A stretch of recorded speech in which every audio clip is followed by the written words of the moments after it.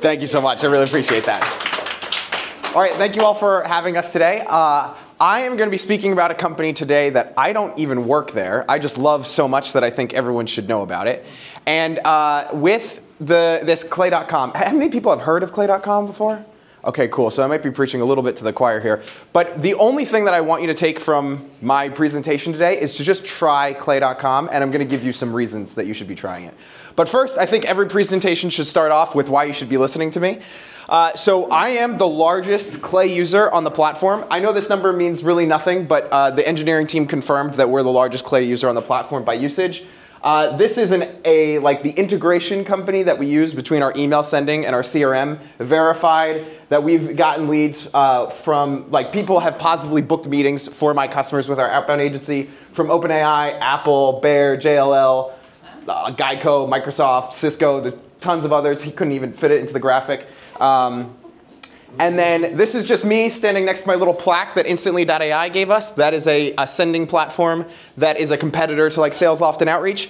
Um, we, they gave me a plaque because we generated 5,000 B2B sales opportunities in a year. That was only for them. They are my client, and I generated 5,000 just for them. We actually use a different platform for our sending, which makes it a little bit tense sometimes. And then th this is our internal sheet where we generated 10,000 positive responses in uh, over the past year for our customers as well too.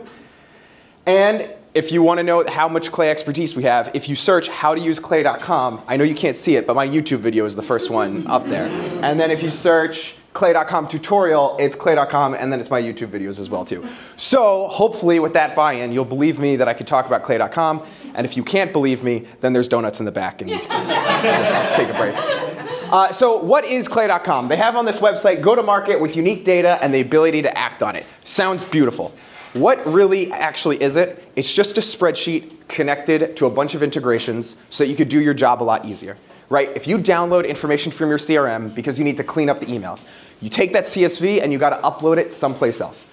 You validate those emails, and then you need to find more emails because the original provider didn't have everything. You take that CSV, you download it, you have to upload it to another place. Instead of all this download and upload stuff, Clay is just a tool that you have all of the integrations in one place, and you can set up logic so that you'd be able to run it.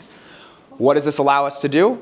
Just the normal things every person needs to do to clean up your CRM, to run outbound campaigns, whatever it might be. Cleaning up names, validating emails, enriching for emails, enriching somebody's LinkedIn profile, finding LinkedIn profiles, all of these things that can be done on the platform. We won't have time to jump into all of them, but I'll show places that we could go. My bias, obviously, after you know you heard our intro, I completely I forgot that I put in how many uh, emails we send. So I'm a little bit of a professional spammer for some of those that that don't like it. But um, I definitely have a bias towards outbound email. So a lot of the examples you'll see from my presentation are for outbound email. But a lot of people are using it for their cold calling, or if you're doing enterprise sales, to send all of the data to the CRM so that the teams don't need to do the research and different things like that. And so they raised uh, $40 million at a $1.25 billion valuation. And so then I just want to talk about what's all that hype about. Really, what they're trying to do is they're consolidating the data market. The same way that ZoomInfo has been there and Apollo has been there. Instead of trusting one data provider to get all of the data, they want to try to bring everything in. And one thing that I like to talk about, has anybody read the book Flip the Script by Oren Klaff? So in one part of the book, he talks about something he calls novelty chunking.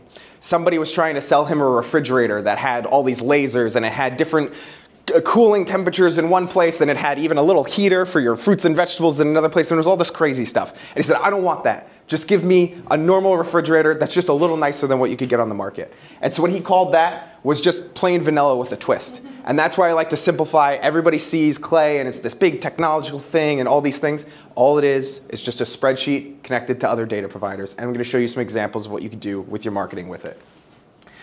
And so this, I, I apologize, I didn't know it would be a little bit small, but this is just an example of all of the integrations that you can use inside of clay.com. So if there's any data provider that you like, they're up to over 100 integrations at this point. So if your favorite mobile number data provider is Lusha, they're on the platform. If it's ZoomInfo, they're on the platform. If whatever email finder you want to use, it's all on the platform. So they have all of the integrations up here. So whatever workflow you're putting together, you could stitch it together in one place instead of swapping in between all of the other things. Uh, and now I'm just going to give some examples of some emails that we have actually sent to people because we can scrape their data and then we use AI to normalize everything. This, we sent this on behalf of a uh, Google reputation management company who they came to us and they said they sent 3,000 emails and they never got a single response. And they said, hey guys, this is probably like the easiest, like if, if this email doesn't work, just do not hire us because this is just like, this is the only thing you could say. Hey, I had a question about that negative review I saw on Google. This is blocking a little bit, but the one about ROG Roofing doing substandard work that wouldn't pass inspection. We scraped their Google reviews to actually find a negative review up there. Great. Oh, substandard carpentry work that wouldn't pass inspection. So here, we're scraping their, their actual negative Google reviews, normalizing it with AI, and then putting it into the email, just straight injected into the copy. Is this having a negative impact of people walking to your business? We're helping companies like you remove reviews like this in under seven days, and you only pay when we successfully remove a review. And of course, then we have somebody positively responding who I'm doxing their cell phone because I don't know how to use Canva. Um, and they said, can I choose the reviews that are removed? I don't want all the negative removes, just the unjust ones. I was like, okay, whatever one you think about that. sure. And then here's another example. And again, this is in 15 minutes. I'm not going to convince you that you should all buy clay and all these things. But hopefully I can uh, show you that you should at least try it. What's the next one? Uh-oh. Maybe it's it. Maybe.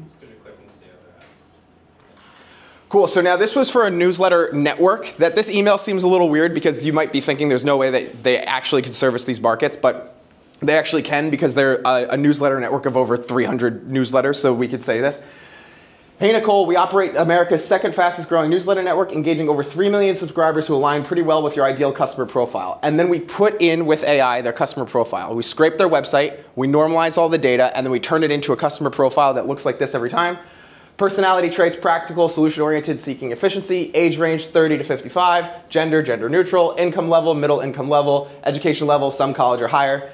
Then we AI generated this part too. Specifically, it looks like you're looking to connect with couples seeking an easier divorce process. I think we can help with that. Are you open to learning more? Hope to hear back from you soon. And then again, we're using AI to pull case studies straight off their website. Saw GenB's feedback about how your team was responsive during a tough time. Uh, suggest you make a hard situation a bit smoother for many people could be something to talk about in the newsletter, right? All of those things just condensed from their website content, put straight into the email. And then finally, oh, this was really funny. This is actually an email we send for clay.com, and I thought it was funny because the response we got from this is, it really depends. See, can I get the same person that built your email tree in my setup? Because, uh, so this email, we're using this to break into enterprise accounts, and it, I would uh, like very much say this is a very long email. But we're finding that this is the best thing to break into enterprise accounts. We just got like Palo Alto Networks to respond just today um, off this email. And so we're saying, basically, I think you're using outbound tax to grow your company. I bet your team reaches out to fintech entrepreneurs, business owners, and regulatory compliance officers. Before they do that, do they do things like analyze the competitors' offerings in open finance? Do you track industry regulation and craft timely relevant outreach? Do you research the founder's social media to engage with personal insights on those marketing changes? And then we're basically saying that Clay can help them do all of those things. And then we'll get responses like this of people who, like, they're like, Eric, you got to go talk to this person because they want you to set it up for them. And so those are some of the crazy things that we've done for people in clay.com. It's kind of a, a difficult platform to learn, so we do have a, a document here that this is our internal guide. Whenever I bring on somebody new to my team, we teach them how to use the, the platform by using this internal guide. And I think we were so nice. Yes, we got a, uh, a QR code for this. And so in this uh, link, you're going to see a QR code that goes to a document to teach you how to enrich a company for their web traffic, how to enrich companies for uh, who raised money, how to enrich companies for uh, what roles they have open and who's hiring for those roles, and then also just sourcing companies who are hiring for salespeople or whatever you'd like to do. And then I think we also have how to find local business owners with AI uh, because you can't get them on LinkedIn. So we use AI to manipulate the website to see who the local business owner is. And all of those, not only do I teach you how to do it in this document, there's literally a copy and paste. You can take my clay tables and just put them into your account and you could use them straight there as well too. And then if you'd like to learn any more, I also have a YouTube channel that I'm too lazy to put thumbnails on. And if you'd like to also see all of our tutorials on this, there's a QR code for our YouTube channel as well too. And so thanks for having me today. Thank you so much. Thank you. Yeah, no, thank you.